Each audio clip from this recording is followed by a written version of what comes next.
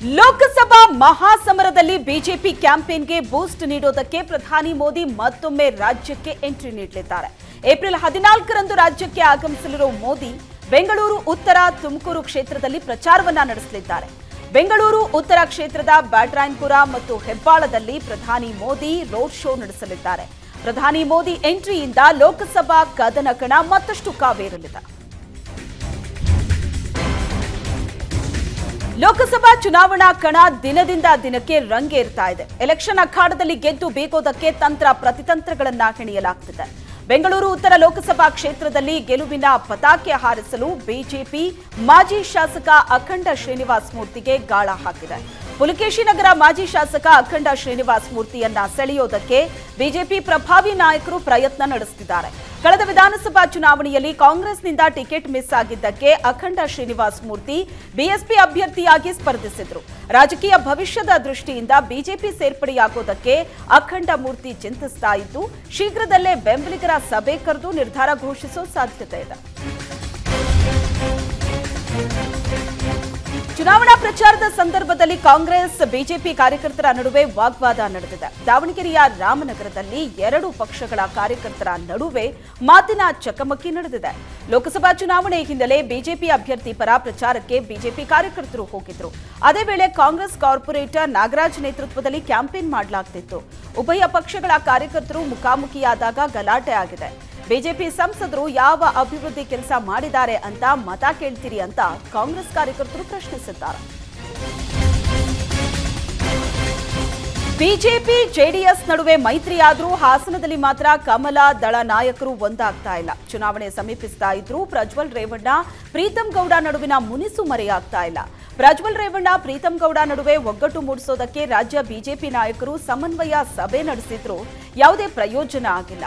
ಪ್ರಜ್ವಲ್ ಪರವಾಗಿ ಕೆಲಸ ಮಾಡೋದಕ್ಕೆ ತಮ್ಮ ಆಪ್ತರಿಗೆ ಪ್ರೀತಂ ಗೌಡ ಸೂಚನೆ ನೀಡಿಲ್ಲ.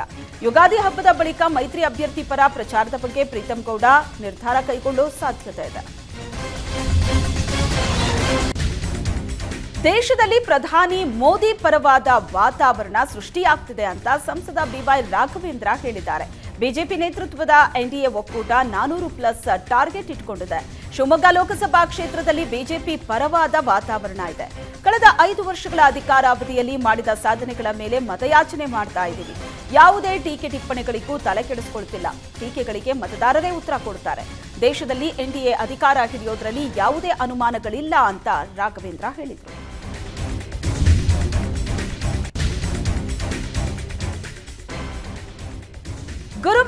ಜೆಡಿಎಸ್ ಶಾಸಕ ಶರಣಗೌಡ ಕಂದಕೂರ್ ನಡೆ ಕುತೂಹಲ ಕೆರಳಿಸಿದೆ. ಶಾಸಕ ಶರಣಗೌಡ ಕಂದಕೂರ್ ಮೊದಲಿನಿಂದಲೂ ಜೆಡಿಎಸ್, ಬಿಜೆಪಿ ಮೈತ್ರಿ ವಿರೋಧಿಸಿಕೊಂಡು ಬಂದಿದ್ದು, ಮೈತ್ರಿ ಅಭ್ಯರ್ಥಿ ಪರ ಪ್ರಚಾರಕ್ಕೂ ಬರ್ತಾ ಇಲ್ಲ.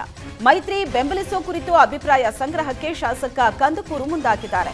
ಕಲಬುರಗಿ ಬಿಜೆಪಿ ಅಭ್ಯರ್ಥಿ ಡಾಕ್ಟರ್ ಉಮೇಶ್ ಜಾಧವ್ ಖುದ್ದು ಭೇಟಿಯಾಗದ್ದಕ್ಕೆ ಶಾಸಕ ಕಂದಕೂರು ಅಸಮಾಧಾನ ವ್ಯಕ್ತಪಡಿಸಿದ್ರು. ಸದ್ಯ ಕ್ಷೇತ್ರದ ಮುಖಂಡರು ಹಾಗೂ ಕಾರ್ಯಕರ್ತರ ಜೊತೆ ಸಭೆ ನಡೆಸೋದಕ್ಕೆ ಶಾಸಕ ಕಂದಕೂರು ಮುಂದಾಗಿದ್ದಾರೆ.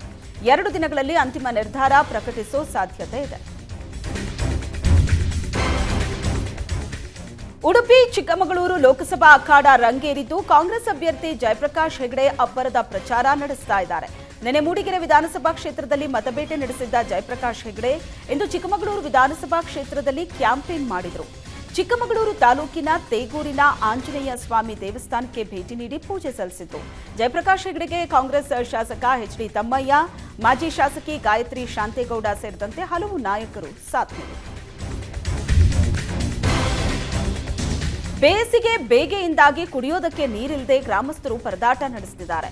ತುಮಕೂರು ಜಿಲ್ಲೆ ಶಿರಾ ತಾಲೂಕಿನ ಕಮಲನಾಯಕನ ತಾಂಡ್ಯದಲ್ಲಿ ಜಲಕ್ಷಾಮ ಉಂಟಾಗಿದೆ. ಗ್ರಾಮ ಪಂಚಾಯಿತಿ ಸಮರ್ಪಕವಾಗಿ ನೀರು ಪೂರೈಕೆ ಮಾಡ್ತಿಲ್ಲ ಅಂತ ಆರೋಪಿಸಲಾಗಿದೆ. ನೀರಿನ ಸಮಸ್ಯೆ ಬಗ್ಗೆ ಹೇಳೋದಕ್ಕೆ ಹೋದ್ರೆ ಗ್ರಾಮ ಪಂಚಾಯಿತಿ ಪಿಡಿಒ ಉಡಾಫೆ ಉತ್ತರ ನೀಡ್ತಿದ್ದಾರಂತೆ. ಗ್ರಾಮ ಪಂಚಾಯಿತಿ ಸಿಬ್ಬಂದಿ ನಡೆಗೆ ಜನರು ಆಕ್ರೋಶವನ್ನ ವ್ಯಕ್ತಪಡಿಸುತ್ತಿದ್ದಾರೆ ಮಂಡ್ಯ ರಣಕಣ ದಿನ ದಿನಕ್ಕೂ ರೋಚಕವಾಗ್ತಾ ಇದೆ. ಮೈತ್ರಿ ಅಭ್ಯರ್ಥಿ ಮಾಜಿ ಸಿಎಂ ಕುಮಾರಸ್ವಾಮಿ ಮಣಿಸೋದಕ್ಕೆ ಕಾಂಗ್ರೆಸ್ ಪಣ ತೊಟ್ಟಿದೆ.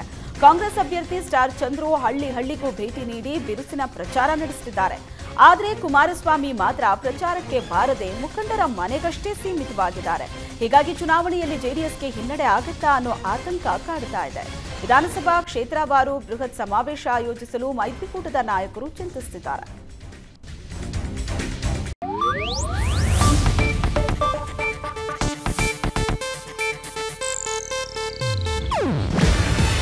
ಇದು ಏಷ್ಯಾನೆಟ್ ನ್ಯೂಸ್ ನೆಟ್ವರ್ಕ್ ಪ್ರಸ್ತುತಿ. ನೀವು ನೋಡ್ತಿದ್ದೀರಾ ಏಷ್ಯಾ ನೆಟ್ ಸುವರ್ಣ ನ್ಯೂಸ್.